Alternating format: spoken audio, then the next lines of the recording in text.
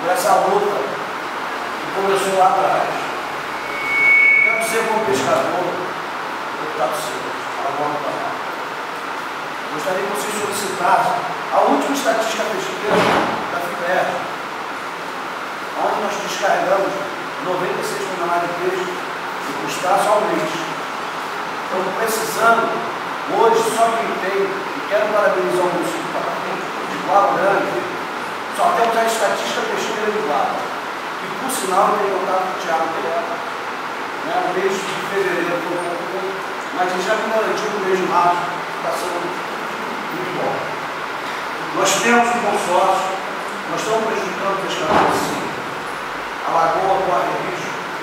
Eu vou dizer que temos que pensar primeiro em Cabo Frio. Enquanto nós não fizermos a dragagem de Cabo Frio, vai se as embarcações de 7 metros, ela está se encaminhando no meio do canal. Nós temos cinco carros dentro de Cabo Frio. Nós não podemos pensar em balizamento. Né? É bom, é bom. Nós temos que fazer um canal correto onde é. O canal navegável de Cabo Frio está todo assoreado. As embarcações não têm mais para cá. Né? Então, impede a observação, impede fluxo de peixe. Eu te queria ter a oportunidade de um dia chamar vocês para olhar de cima da ponte a quantidade de peixe. E às vezes tenta entrar para dentro e às vezes não consegue. Não consegue exatamente por causa do assoreamento. Né? Nós temos um ponto crítico na, na, nas palmeiras. Né? Hoje nós vimos o que? Nós temos um contato deputado, um deputado, que vocês como estão lá, olhar para a casa de pescadores em geral. O Ministério da Pesca acabou. E no dia 25 de fevereiro de 2015, a Câmara Técnica da Pesca entregou o documento do consórcio. Era Isabela Teixeira, ministro do Meio Ambiente, pedindo para fazer a troca do defeso da laguna. Né? O defeso para a espécie peixe está muito favorável, está certo. Mas a espécie de crustáceo camarão, nós estamos prejudicando nossos, nossos pescadores, porque quando tem o camarão no abundante, eles estão proibidos, estão sendo presos para capturar o seu, o seu pescado. Né? Então, é, evita aí o pescador aí da, da parte esquerda, sabe, sabe do que eu estou falando. Nós temos que se unir. Eu gostaria de saber aqui, nós temos algum representante do INEA. Isso foi convidado. Pois é, está sendo bastante ouvido, mas não é. O nosso convidado informou agora há pouco que não poderia estar presente motivo de outras agendas, mas não mandou representante. É, inclusive eu quero deliberar aqui junto com os deputados presentes, aqui da comissão, para que nós façamos já ainda essa semana, de maneira é, emergencial, uma visita, né?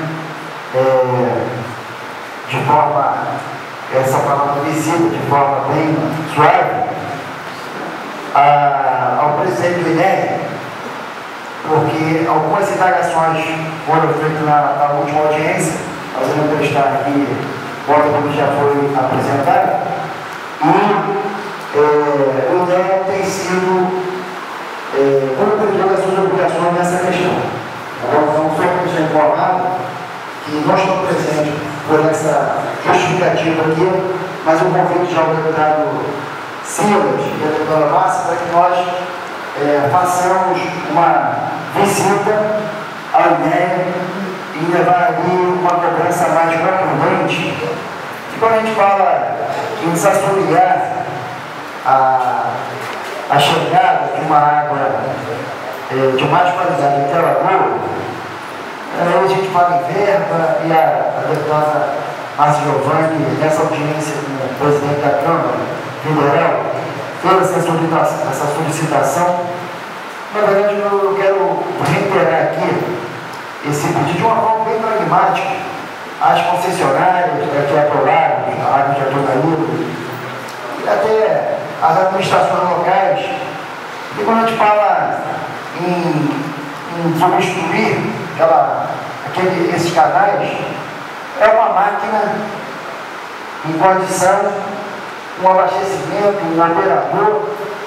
Então, veja de que forma nós podemos ter essa, essa condição de meios próprios para a gente começar a avançar e ter essa conversa também, é, firme, por exemplo, a porque como foi muito bem colocado aqui pelo nosso, pelo nosso presidente da OAB, o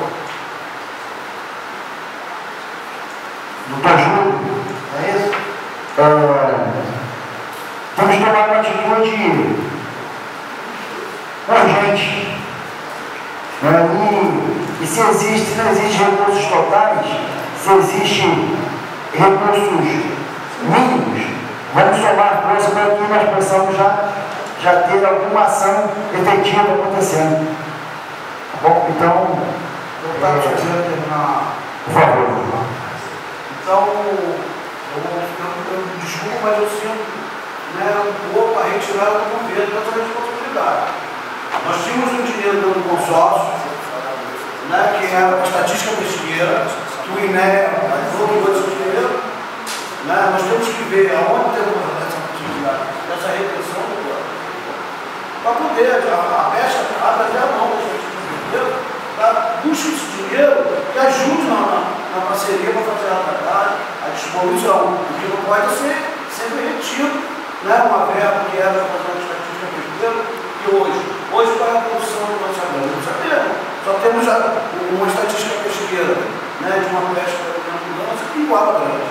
Né, a pesca em Guarda Grande, e São Pedro né, teve uma grande captura de pescado. Então, temos que chamar para dentro dessa comissão, parabenizo a todos. Aqui, isso aí não é uma causa só do pescador, de todos, não é dos deputados, né, e não é só da responsabilidade das empresas, são a responsabilidade de todos. Mas não possível abandonado pelo INE.